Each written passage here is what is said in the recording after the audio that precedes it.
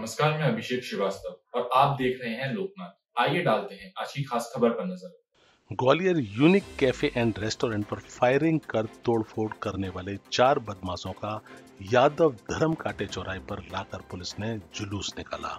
आरोपियों को जुलूस निकालकर घटना स्थल पर लेकर पुलिस पहुँची। कल देर रात बदमाशों को बर्थडे पार्टी में गाली गलौच नहीं करने पर रेस्टोरेंट संचालक ने रोक टोक की थी, जिससे नाराज़ बदमाशों ने अपने साथियों के साथ मिलकर वारदात को अंजाम दिया। हजीरा थाना पुलिस ने कार्रवाई कर अन्य आरोपियों की तलाश शुरू कर दी है। किस मामले के आरोपी हैं और कब से फरार चल रहे थे? क्या? कल एक यूनिक कैफ़े नाम का रेस्टोरेंट है जो बिरला नगर पुल के नीचे है।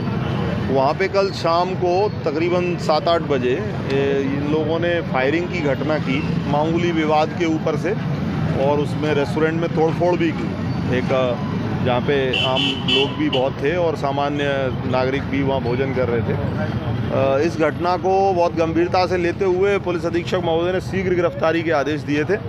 इनको रात भर और आज दिन में लगातार हमारी टीमों ने इनको इनका पता करके और इनकी गिरफ्तारी की है।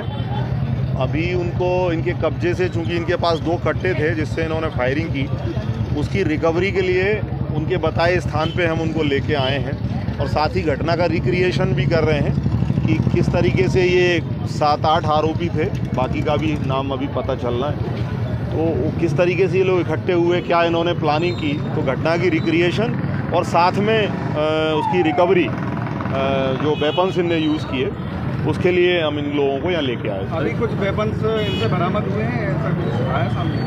अभी उनसे पूछताछ पे उन्होंने बताया है और घटनास्थल पे अभी उनको लेके जा रहे हैं। कुछ कुछ सोशल मीडिया पे भी इन्होंने वेपन्स दिखाकर वायरल किया है क्या है? ये तहकीकात में ये भी मालूम हुआ है कि इनकी पुराने जब सोशल मीडिया अकाउंट्स खंगाले गए तो उसमें इनके द्वारा अवैध हथियारों का प्रदर्शन करते हुए और इस तरीके के वीडियो पोस्ट किए गए। अभी तक कितने आरोपी अभी हमने पाँच आरोपियों को हिरासत में ले लिया है और शेष भी दो तीन घंटे में हम बाकी लोगों को भी अरेस्ट कर लेंगे। क्या संदेश देने की एक कोशिश की गई है? जिस तरीके से बदमाश लगातार फायरिंग कर रहे हैं लगातार ऐसी घटनाएँ सामने आ रही हैं तो क्या संदेश देने की संदेश बिल्कुल साफ़ है कि जो भी इस तरीके की गुंडागर्दी या इस तरीके के अपराध जिनसे public law and order disturb होता है करेगा उसके खिलाफ सख्त से सख्त कार्रवाई हम लोग करेंगे। ऐसे ही वीडियोस को देखने के लिए आप हमारे YouTube चैनल को सब्सक्राइब करें। साथ ही हमारे अन्य सोशल मीडिया हैंडल्स जैसे कि इंस्टाग्राम और फेसबुक को भी आप फॉलो कर सकते हैं।